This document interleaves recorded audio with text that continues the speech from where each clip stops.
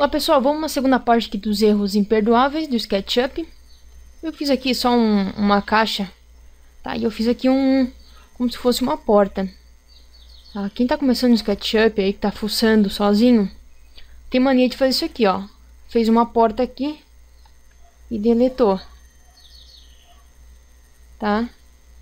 Olha só. Deletar não resolve. Tá vendo que ficou aqui por dentro, ficou azul? Se tu chegar bem pertinho aqui, ó, tá? Olha só. Abriu essa face aqui. Não, mas é, eu vou consertar agora. vou consertar, vou pegar aqui minha, minha ferramenta e vou trazer aqui, ó. Oh, pera aí. Não, mas aí que... Vou fechar aqui. Olha, não adianta excluir desse jeito, tá, gente? Então, vou dar um... Dar um Ctrl Z, tá? Já, fi, já vi aluno fazendo isso. Então, eu tenho aqui. Vou pegar a ferramenta Push Pull. E, ó. O que eu vou fazer aqui, ó? Quando eu puxo aqui nessa linha, eu vou clicar nessa parede aqui pelo lado de dentro.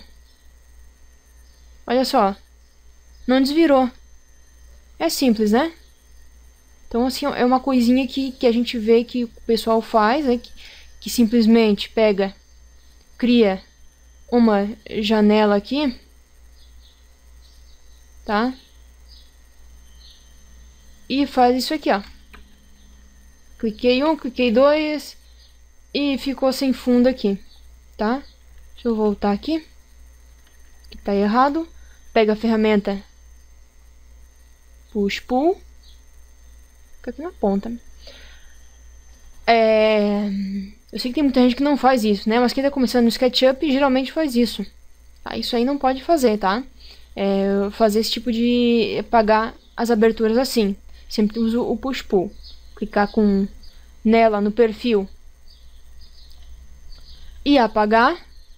Apagou uma face, apagou duas. E apagou a face de fora. Tá? Não, mas daí vamos consertar. Muita gente fala isso, né? Vamos, vamos consertar aqui. Aí não conserta nada.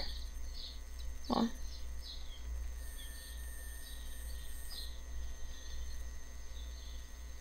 Se eu voltar aqui atrás, ó. Entendeu? Então, vamos voltar aqui. Novamente, ferramenta push pull, puxar e empurrar. Pega aqui nessa ponta e traz na parte de trás aqui da parede, ó. Ali. Ficou certinho, né? Isso é um erro bem simplesinho que tem gente que, que ainda comete esse erro, tá? Então essa aula ficou essa parte aqui, tá? A próxima aula vai ser sobre é, textura, texturas que a gente baixa na internet para usar no SketchUp, ok? Até a próxima aula.